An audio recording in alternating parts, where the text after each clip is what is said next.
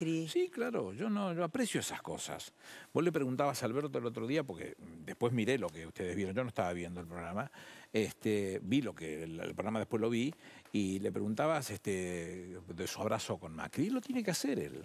Yo no, ni en pedo. Bueno, lo tiene- Vos sos como Cristina, No, que casi le hace un oso con el saludo No, el bueno, día que pero asumió. ojo que si hay alguien que sabe acá lo que se quiso hacer en nombre de Cristina soy yo, porque yo, fui, yo hablé con él. Yo, yo recibí a Forí y a, y a Peña en mi despacho siendo jefe de gabinete. Hablamos de qué se podía hacer en ese momento. Peña me llamó, un- no sé si fue al día siguiente o dos días después, este, me lo puso el presidente al teléfono. Presidente, le deseo lo mejor como hace un caballero. Lo mejor para usted, lo mejor para los argentinos, lo que necesite, lo ayudo. Después se reunió con Cristina, después se le agarró la chiripiorca de querer inventar una cosa extraña para, para su asunción y la entrega de los atributos Eso del que mando. fue una mentira.